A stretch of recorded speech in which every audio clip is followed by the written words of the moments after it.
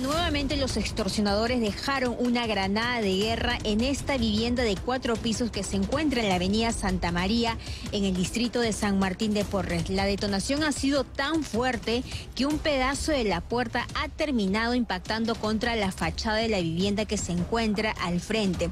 Según lo que nos han indicado algunos vecinos, esta detonación se dio cuando había una persona en el interior de este inmueble. Es un inmueble familiar y aparentemente aparentemente esta familia tiene un negocio de construcción y esta familia estaría siendo extorsionada precisamente por estos delincuentes.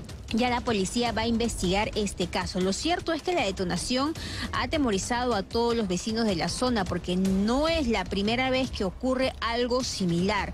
Hace unas semanas atrás este mismo inmueble también fue atentado. Según lo que han comentado los vecinos, desconocidos llegaron hasta este punto, escribieron el nombre de uno de los familiares que al parecer sería el encargado de esta empresa de construcción y luego lanzaron piedras contra las ventanas. Esta situación también lamentablemente ha dejado a los vecinos totalmente atemorizados y ahora esta madrugada dejaron la granada de guerra que ha terminado destrozando la puerta. La familia no ha querido pronunciarse, pero sí ha dado detalles de la empresa que está manejando, por ello es que la policía sospecha de que este caso sería por extorsión.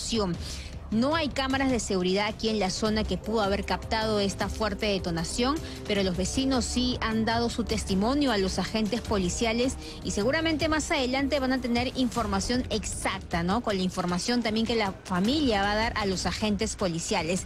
Nuevamente voy a repetir dónde ocurrió este caso, en la avenida Santa María, eso fue en el distrito de San Martín de Porres.